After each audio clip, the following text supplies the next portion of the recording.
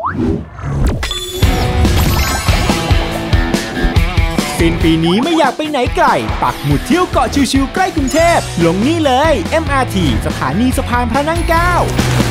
เกาะเกร็ดเกาะใจกลางแม่น้ำเจ้าพระยา ชุมชนที่ผสมผสานวัฒนธรรมไทยมอญเอาไว้มายาวนานกว่า 400 ปี ซึ่งที่นี่มีจักรยานให้เช่าตลอดทาง ปั่นง่ายไม่ต้องกลัวหลง เพราะเป็นวันเวย์ให้เราผ่านแลนด์มาร์คเก๋ๆดูวิวบ้านเรือน แวะถ่ายรูปกันได้ชิวๆแล้วแวะเช็คอินแบบสายหมู่ ที่วัดปรมัยยิกาวาสเสริมสิริมงคลผูกผ้าสามสี ที่ต้นไม้สามกษัตริย์แล้วนั่งสมาธิขอพรให้การงานก้าวหน้าไร้ปัญหามาขวางทาง กับพระไพรีพินาศถูกใจสาย working แน่นอน สิ้นปีนี้เที่ยวเกาะใกล้กรุงเทพแถมได้มูด้วย แชร์โลไว้ให้แล้วนะ